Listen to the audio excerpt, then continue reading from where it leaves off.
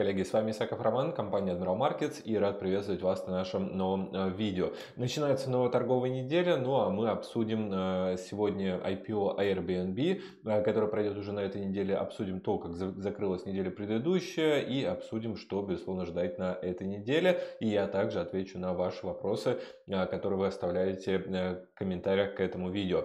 Ну а прежде чем мы начнем, не забудьте поставить лайк. А, Airbnb.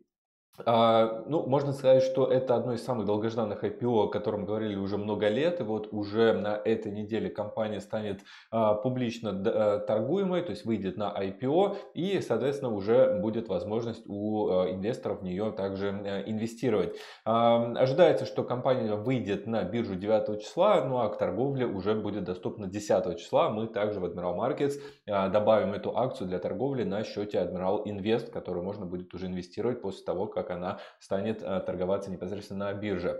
А первые э, цены, ну то есть ценовой диапазон, в котором ожидается акция будет торговаться, это от 40 до 50 долларов, но все зависит от того, опять же, насколько много денег в нее войдет на стадии при IPO, ну и, собственно, первая цена торговли, которая появится. А, э, я думаю, что в нее также инвестировать будет большое количество людей, потому что эта компания понятна, все про нее знают, и многие как раз пользуются ее сервисами, потому что Хоть и э, много компаний выходит на IPO, то есть фактически этот год является одним из рекордных после 2000-х а, годов, да, когда тогда на IPO в течение года выходило порядка 400 американских компаний, сейчас, конечно, чуть а, меньше, но тем не менее, то есть приток денег в эту компанию может быть довольно-таки большой. Но важно тоже понимать, что сейчас отрасль туризма, она находится на минимумах и пока еще восстанавливается, ну, восстанавливается крайне медленно. Ну, самый большой рост был получен как раз в течение последнего месяца, когда мы получили позитивные данные по а, вакцине. Опять же, здесь нужно быть крайне аккуратным. Я никому не призываю инвестировать именно в это IPO, но а, лично для себя, скорее всего, рассмотрю вход небольшим объемом на инвестиционном счете. Поэтому а, также за этим необходимо следить и принимать уже также взвешенное решение для себя. А, завершилась э, неделя э, обновлением локальных максимумов. Мы видели новый исторический максимум и по S&P 500, и по NASDAQ, и по Dow Jones. А, есть вероятность того, что на рынке, конечно, может произойти коррекция, но э, коррекция небольшая, 5, 7, 10%, вполне вероятно, что мы можем увидеть. Но давайте посмотрим, как у нас а, завершились, как раз были опубликованы данные по количеству созданных рабочих мест не сельского хозяйства, non-farm payrolls, да, который выходил в пятницу.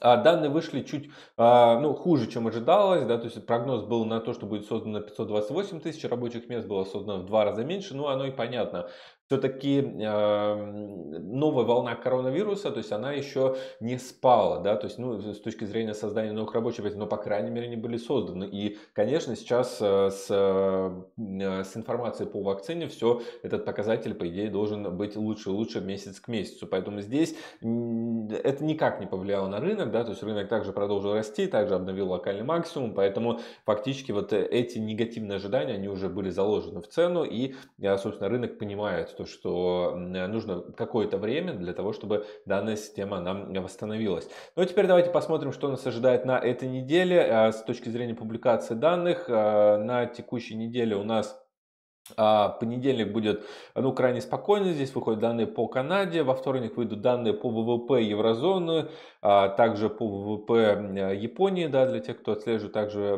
данную страну. А среда, число открытых вакансий по США, до да, 17-17.30 будут выходить данные. Ну и а, четверг, а, здесь будет решение уже по процентным ставкам. А, скорее всего, они останутся также на прежнем уровне, то здесь пока рынок не ожидает э, каких-либо изменений. И а в пятницу начнется саммит лидеров ЕС. Да, опять же, э, скорее всего, будет опять же обсуждаться тема насчет новых дополнительных стимулирующих мер. Ну а куда же без них? Э, и рынку нужно как раз новое топливо для того, чтобы двигаться дальше.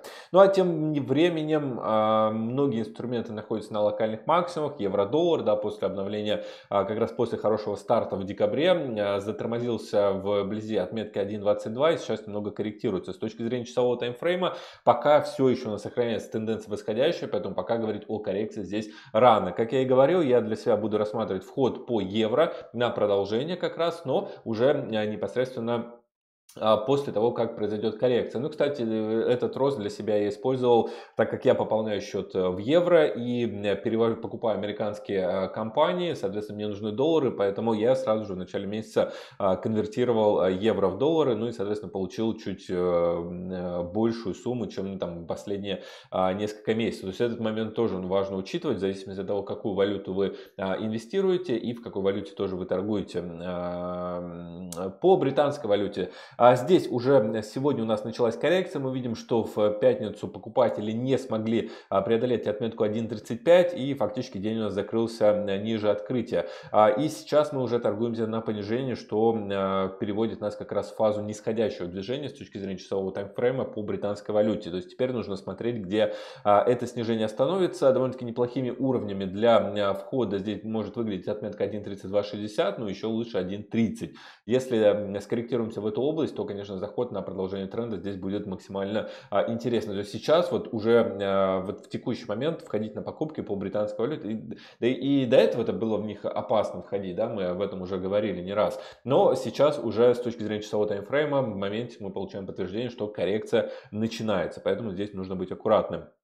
А по паре американский доллар, канадский доллар, тренд на ослабление американского доллара продолжается. Мы преодолели те целевые уровни, которые мы ставили ранее, упали до отметки 1.2783, то есть тенденция нисходящая здесь вполне а, продолжается. Поэтому искать а, заходы на продолжение как раз данного нисходящего тренда и следует. Сейчас пятница закрылась довольно-таки активно, да, на понижение сейчас торгуемся в достаточно узком диапазоне, но тем не менее, то есть нужно следить за тем, когда у нас начнется коррекционное движение и заходить уже также на продолжение как раз а, тренда, потому что пока тренд сохраняется на ослаблении американского доллара, то есть от уровня примерно 1.30, здесь я бы уже а, в позиции заходил, безусловно, при получении локального подтверждения на возобновление нисходящего тренда. А пара американский доллар, японская иена здесь торгуется в диапазоне, пока минимум ноября преодолеть не удалось. А, немного мы а, подросли как раз а, в пятницу, но пока общая динамика с точки зрения часового таймфрейма опять же сохраняется здесь нисходящая, поэтому вполне вероятно, можем ожидать как раз движение на минимум ноября, то есть на отметку 103, 102, 90 по данной валютной паре. Ну а, как я уже говорил, то заходить на а, продолжение как раз вот данного тренда я буду а, после а, коррекции, которые здесь будут на рынке появляться. Но на текущий момент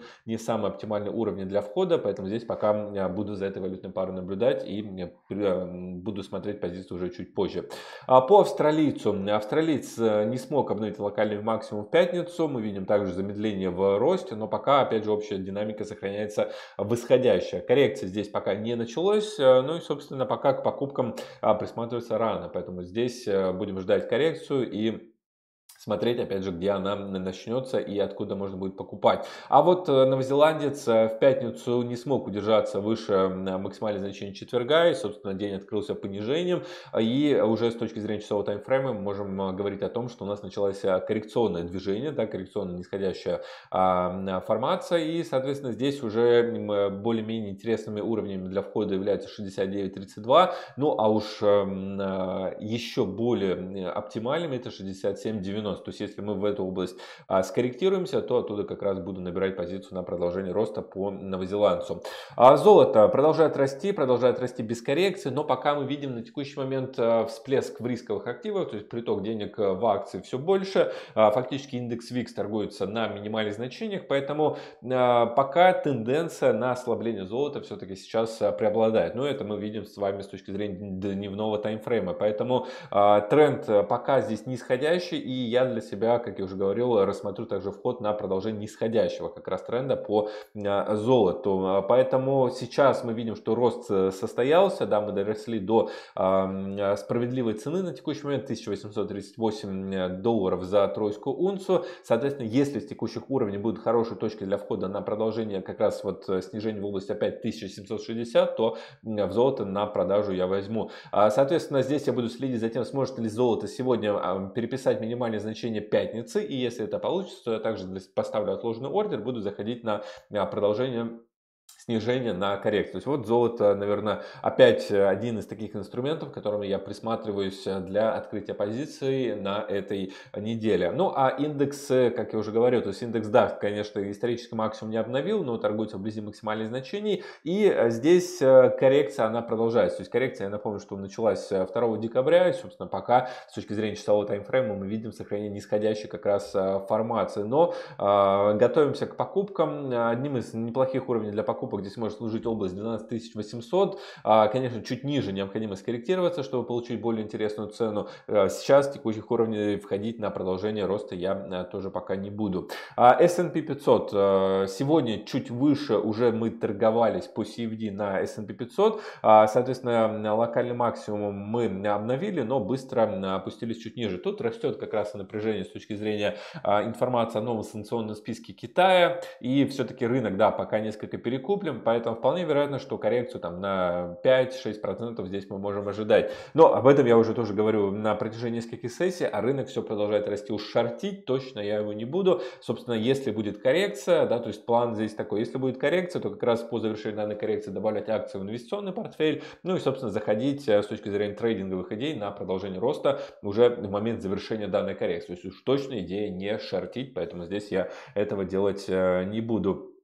Ну а нефть марки Brent на прошлой неделе на позитиве как раз договоренности ОПЕК плюс а, продолжала расти. В пятницу тоже мы видели локальный максимум, вплотную подошли к отметке 50, но а, выше этого уровня уйти не удалось. Поэтому на текущий момент мы видим все-таки сохранение также восходящего движения по нефти. А, собственно, снижение добычи, которое ожидается также и с января по странам ОПЕК плюс, оно, безусловно, позитивно влияет. Но вряд ли здесь мы можем ожидать опять же взрывного роста там, на 70, на 80, на 90. Ну вот диапазон 50-60 здесь выглядит как раз э, оптимальным. А, неделя обещает быть э, довольно-таки активной. И э, также давайте посмотрим те вопросы, которые вы оставляли под э, предыдущим видео. Отвечу ну, вот на один ключевой вопрос а, по поводу CFD инструментов. Да, то здесь был вопрос от нашего участника, в чем же разница. И я на него тоже попробую, собственно, ответить. То есть CFD это контракт на разницу, то есть это спекулятивный контракт, который как раз используется трейдерами на спекуляциях. Да, то есть не на, на получение дивидендов, дивидендов это именно контракт на цену. То есть вы можете как э, идти в лонг, так же идти в шорт. Есть CFD, в Markets торгуется CFD на акции, на нефть, на золото. То есть да, фактически все инструменты можно в общем да, назвать это CFD, да, контракты на разницу.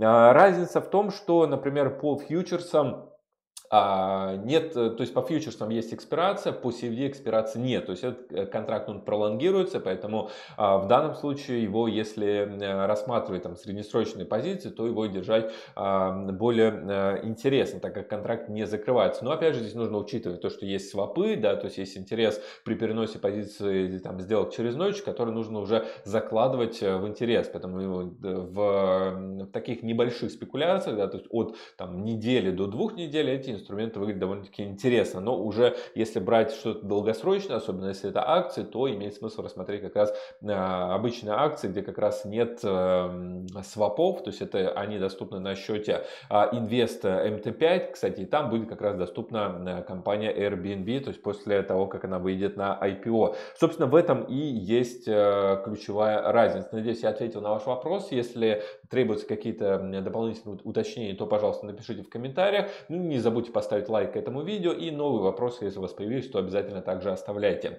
Всем желаю хорошей торговой недели, всем спасибо за внимание, э, спасибо и до свидания.